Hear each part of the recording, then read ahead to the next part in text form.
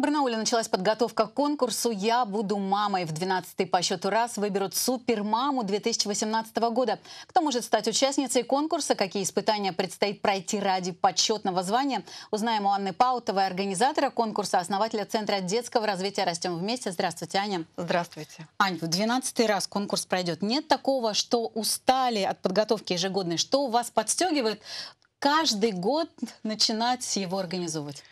Не поверите, желание будущих мам участвовать.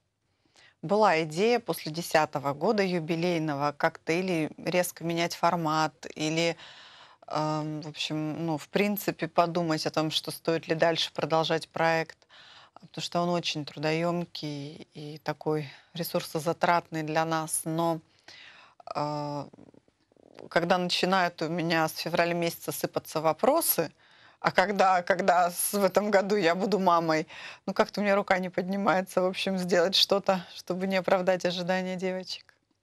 Вот смотрят сейчас нас беременные женщины, к примеру, размышляют, может быть, и мне пойти на конкурс. Всех ли берете? Знаю, что имеет значение срок беременности. Да, срок беременности имеет значение. Конкурс у нас в этом году пройдет 20 ноября. Отбираем мы раньше, потому что мы готовимся, репетируем.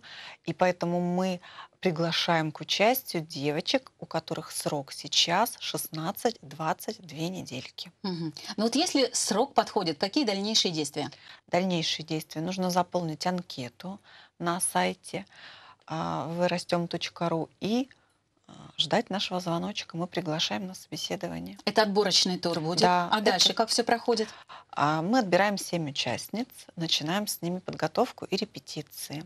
У девочек будет красивая фотосессия и несколько танцевальных номеров совместных и несколько номеров э, сольных. В этом году новинка нашего конкурса. У нас нет какой-то специальной темы, вот там посвященной году там, театра, вот как у нас было и так далее. Вопрос да. о теме. Угу.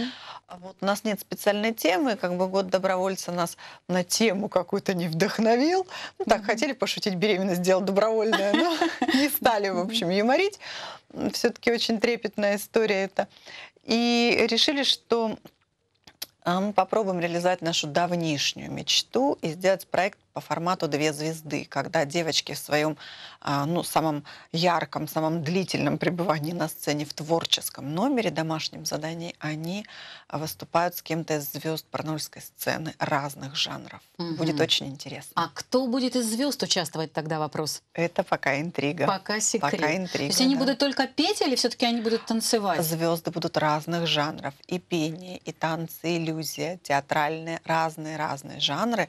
А нам хочется хочется, чтобы это был не, не вокальный концерт, угу. а разножанровый.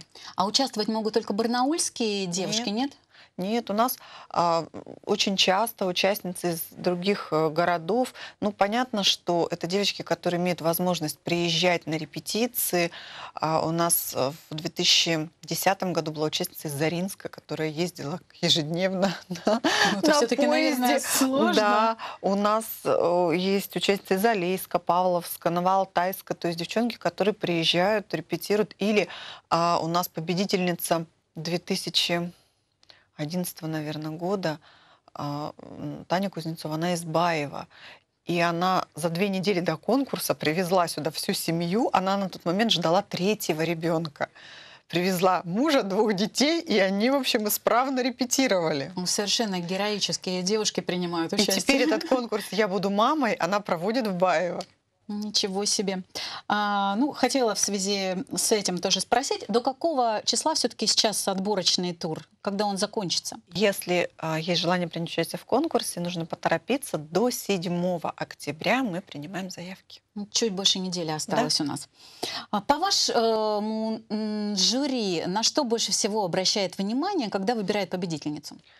Вы знаете, поскольку жюри у нас совершенно независимое, и мы не всегда даже сами, ну вот заранее знаем, кто у нас в жюри. У нас есть постоянные члены жюри, такие как председатель Надежда Степановна Ремнева, и есть такие переменные люди, которые, ну, в зависимости от того, кто а, присутствует у нас из высоких гостей на празднике, мы их приглашаем в жюри. В этом смысле это независимая такая совершенно оценка, и сказать, вот мы стараемся только баланс женско-мужской соблюдать, и чтобы было нечетное число в жюри всегда людей. а, а, в этом смысле нам всегда очень трудно предсказать, кто именно понравится жюри. У нас не часто сходятся с ними мнения. Мгм. То есть мы, нам кажется, что вот в ходе подготовки, что вот эта девочка очень яркая и прекрасная, а жюри Останавливает выбор совсем на другом говорит о человеке. том, что, допустим, ну вот она переиграла, как-то пережала, или уж слишком была экспрессивна, а вот здесь была нежность, а вот здесь было что-то. То есть а, очень разные критерии. А сейчас уже сколько девочек подали свои заявки? У нас заявок традиционно много. Мы проводим обычно ну, далеко за сотню собеседований. А выбираете всего 7 человек. Выбираем семь человек. Ань, а вообще девушкам беременным, зачем этот конкурс? Вот вы уже поняли для себя, зачем он им? Потому что вроде бы дом, э, работа, врачи ежедневно практически. Тут еще и конкурс. Да. Ну, во-первых, не ежедневно. На этом сроке, на котором мы готовимся и участвуем, посещение врача не чаще, чем раз в 2-3 недели проходит, а у некоторых раз в месяц, если все благополучно, беременность протекает. А мы берем э, как бы в конкурс только тех, у кого она протекает благополучно и нет медицинских противопоказаний, да, каких-то вот по здоровью для участия. Но а, дело в том, что беременность, она будет в женщине какую-то совершенно необыкновенную энергию, творческую энергию, которую очень хочется куда-то применить. И для того, чтобы девочки не начинали ее применять и разрабатывать ухищрения по пилению мужа, по там, доставанию своих родственников, по капризам, по поиску арбузов в январе в 2 часа ночи, да, а вот, в общем-то, этот конкурс, он направляет их творческую неуемную энергию как раз в правильное мирное русло. Это раз. Ну, это, конечно, шутки, Мгм. в которых есть доля шутки. Конечно. Но а, важно еще то, что это память для семьи, память на всю жизнь. Это такое событие, это такой момент, в котором вот, ну, не каждому доведется поучаствовать. Это фотографии, это пресса, это большая сцена, на которую выйти многим из наших участниц вот, ну, доводится, в общем, нечасто. Может быть, даже и раз. Может в быть, жизни. может быть, даже и раз. Ну, я думаю, что мы еще раз пригласим девочек. Э, До 7 октября принимаются заявки на участие в конкурсе, а сам конкурс 20 ноября. Да. Спасибо, Ань, большое. Спасибо вам. Я напоминаю, что о конкурсе «Я буду мамой» 12 по счету мы сегодня говорили с Анной Паутовой, организатором конкурса.